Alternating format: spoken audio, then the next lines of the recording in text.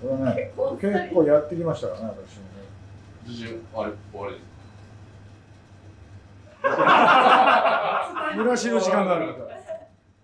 うまい。ねあ、美味しい。あ美味しい。あちょうどい。い。ちょうどい。い。わ